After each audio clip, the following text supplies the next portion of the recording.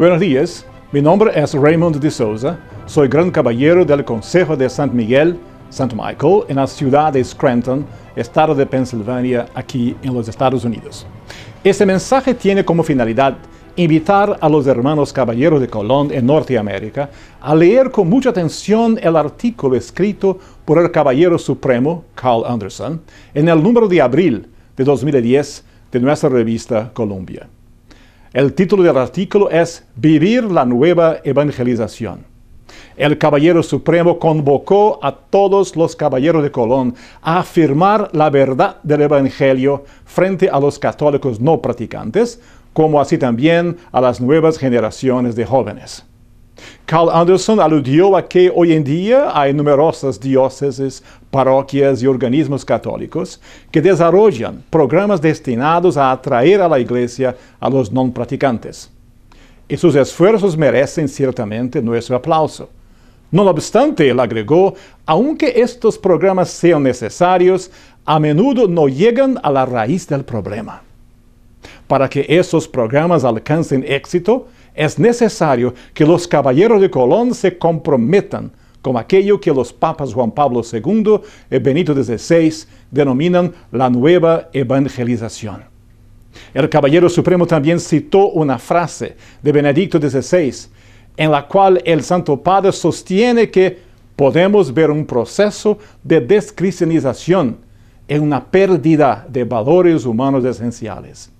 Si esta es la realidad, el mundo occidental está siendo descristianizado. Y la descristianización consiste en la pérdida de los valores cristianos y humanos esenciales en el campo de la cultura, las leyes, la economía, la política y los estilos de vida en general. El Papa dijo que debemos buscar nuevos modos de llevar el Evangelio a todo el mundo. Y Carl Anderson recuerda también esas palabras pronunciadas por el cardenal Ratzinger hace ya una década. Por eso necesitamos una nueva evangelización. Bueno, esa nueva evangelización debe incluir a los seglares. Todo miembro de Caballero de Colón debe cumplir la parte que le corresponde en ese trabajo de reevangelización. Y el Caballero Supremo afirmó también que hoy en día el 80% de los católicos ven la moral como relativa. Uno de los más trágicos resultados del proceso de descristianización de Occidente, especialmente en Europa, es la progresiva islamización cultural. Y el secretario del Papa, el padre Georg Genswein, ya ha alertado sobre ese peligro gravísimo.